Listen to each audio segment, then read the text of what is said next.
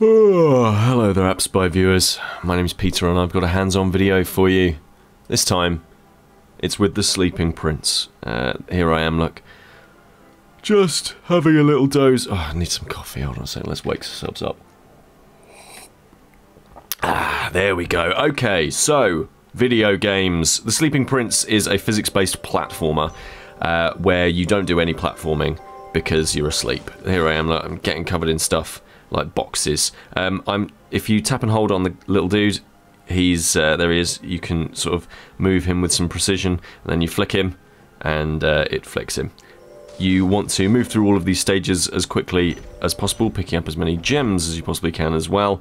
And uh, the fun and a lot of the humour derives from the fact that this is a, uh, you know, it's it's a game with a ragdoll physics engine. So at the end of each stage, you have level goals that you can try to reach and number of gems that you're going to reach and you're rewarded accordingly at the end as well. And then you move on forward.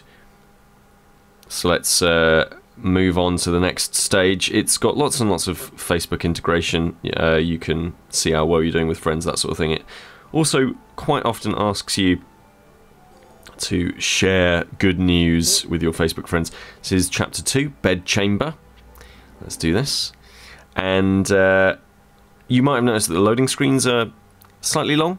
Uh, yeah, I mean it's a it's a good looking game, definitely, but it's but it, it, does take a little while uh, for it to get going. Tap every chest you find to unlock the treasures within. Lovely. So uh, we're doing that as well, and uh, yeah, it's got a good humour. It's it's well made.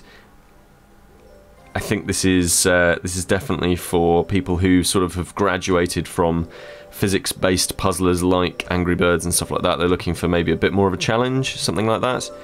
This is definitely one for you. It's a odd, what some would say unique uh, puzzle platformer. And there we are, another level complete. I really like the look of it. It plays really well, I feel.